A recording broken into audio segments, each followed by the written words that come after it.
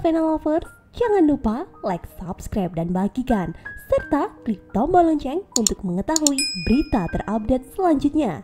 Jangan lupa klik akun sosial media kami, supaya berita terupdate lainnya kamu tidak ketinggalan guys. Profil Idan Sparo, pelawak baru saja meninggal rekan Daus Sparo, ternyata pernah jadi badut ancol. Dilansir dari tribunewmaker.com, inilah profil Idan Sparo, pelawak yang baru saja meninggal dunia, rekan Daus Sparo, itu ternyata pernah jadi badut ancol. Kabar duka datang dari dunia hiburan tanah air setelah pelawak Idan Sparo dikabarkan meninggal pada hari ini, Rabu 2 September 2020. Kabar ini disampaikan oleh manajer Idan, Lucky Daris, melalui akun Instagramnya. Lucky mengunggah foto Idan Sparo tengah berbaring di ranjang rumah sakit. Mata Idan tampak terpejam, tubuhnya dipenuhi alat medis.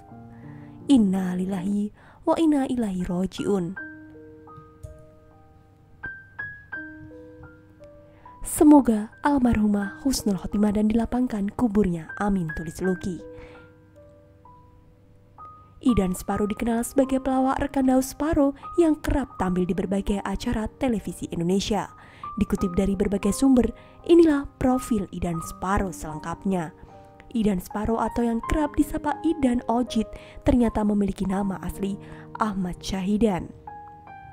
Pria asli Betawi itu lahir di Jakarta pada 9 Agustus 1976 Idan meninggal dunia di usia 44 tahun pada Rabu 2 September 2020.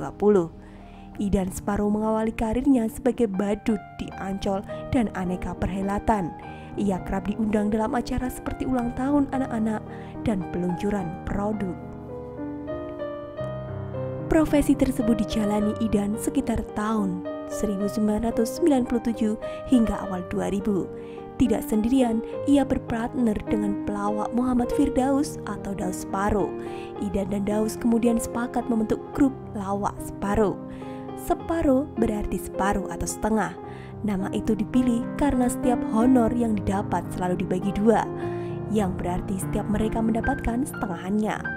Dulu kan semua penghasilan yang kami terima selalu dibagi dua setelah dipotong uang makan dan bensin. Makanya kami sepakat menamai grup Separuh kata Idan kepada kompas.com Kamis 25 November 2010. Hingga kemudian mereka mendapat banyak tawaran manggung dan mulai dikenal. Alhamdulillah order manggung mengalir terus dan semoga rezekinya tidak separuh tambah Idan. Bersama Daus, Idan sempat menjadi pembawa acara komedi legendaris spontan sekitar awal tahun 2000-an. Sejak saat itu, ia kerap tampil dalam berbagai acara di layar kaca, terutama acara komedi.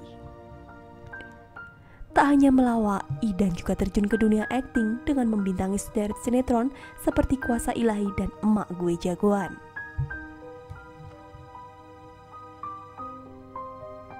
Penyakit tersebut terbilang sudah cukup parah karena telah menyerang organ-organ penting, Ucapan bela sungkawa berdatangan dari berbagai pihak termasuk rekan artis Daus Mini. Daus mengucapkan salam perpisahan kepada teman pelawaknya tersebut di Instagram.